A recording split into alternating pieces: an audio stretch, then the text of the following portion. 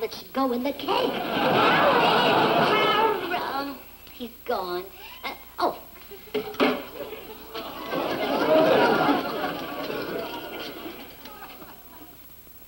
Police Department, Sawyer speaking. Oh, uh, guess who? Mrs. Burns again? Right. Uh, will you send Harry Von Zell back to get the file? Yes, ma'am.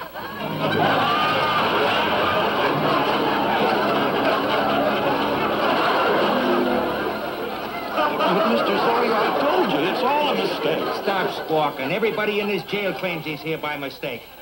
Mr. Detective, have you got a cigar? Shut up! Your wife started this. Could you bring me back a cup full of steak? Oh, hey, look, will you call my sponsor and tell him the commercial will be a little late this week? Anything else I can do for you? Yes, sir. If you arrest a baritone, would you put him in a cell? We'd like to sing a little harmony. I'm going over and talk to your wife just once more. You know I've cracked every big case in this country. And if I can't crack this one, you got yourself a baritone.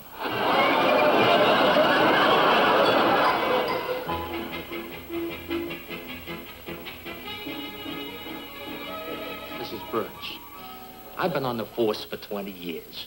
I've been in every kind of trouble that you could name. But today has been the worst day of my whole life. Oh, my goodness. And on top of all that, you have this murder to solve. What's the use?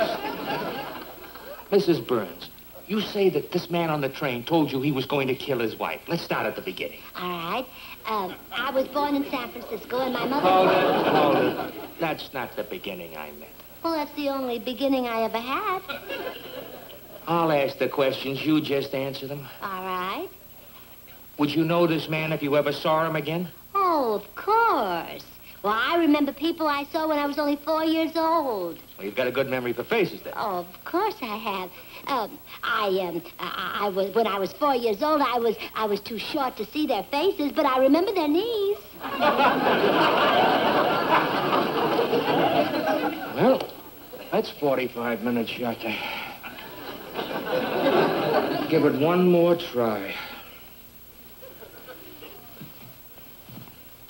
Mrs. Burns, exactly where were you when the man told you that he was going to kill his wife?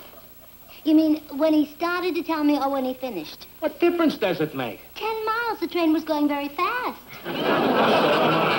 oh, would you take a file to my husband? Goodbye. Hello, Mrs. Burns. Do you remember me? Well, no, but I'll try to in a minute. If I see the murder, I'll let you know, Mr. Sawyer. Uh, where were we? Oh, yes, you were trying to remember who you are. Mrs. Burns, I was on the train with you and you left your gloves. Here. Oh, thank you. Thank you very much. Don't mention it. I'm happy to return them. Goodbye. Goodbye. This place is very familiar.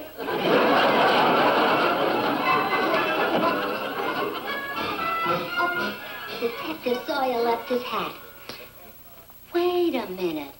That man who was outside, that was Mr. Lindstrom. The man I was with on the train. Oh, he's the one who's killing his wife. Police station. Oh, but, but this is Mrs. Burns again.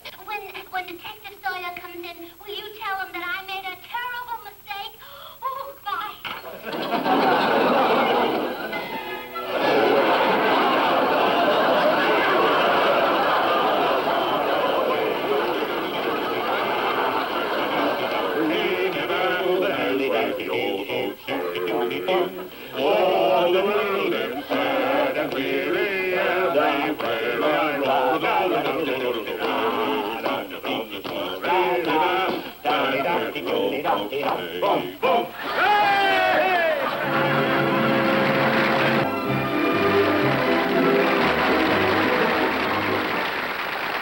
you very much. Gracie and I will be back again next week.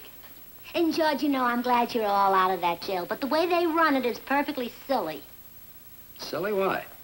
Well, with all those locked doors and, and those guards walking around with guns. Who want to break in there? Say good night. Good night.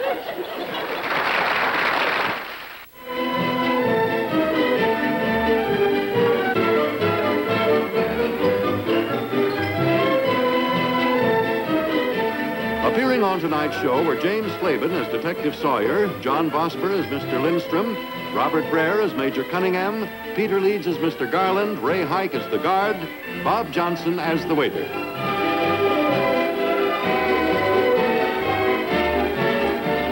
Burns and Allen Show was a film presentation.